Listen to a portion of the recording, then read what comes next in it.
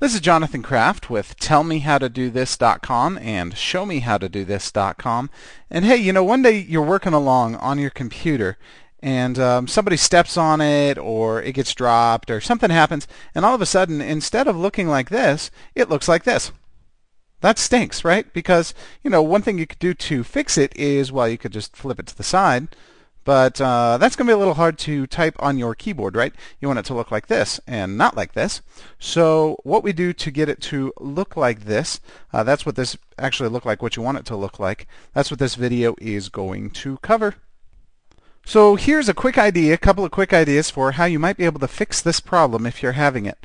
On your keyboard, you should have a keyboard that looks something like this on your computer, and on your keyboard you have a control key, an alt key, and a delete key. Those keys, respectively, are here and here and here, at least on this keyboard. They may vary a little bit on your keyboard. But that's where those keys are. You'll want to press those first. If it doesn't change your screen resolution, then here's what you're going to want to do.